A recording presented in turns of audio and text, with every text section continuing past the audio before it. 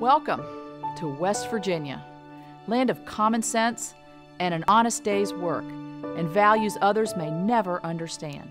We build our communities together, we celebrate together, and sometimes even mourn together. And at the end of the day, we're not just Republicans or Democrats, but something much more important West Virginians.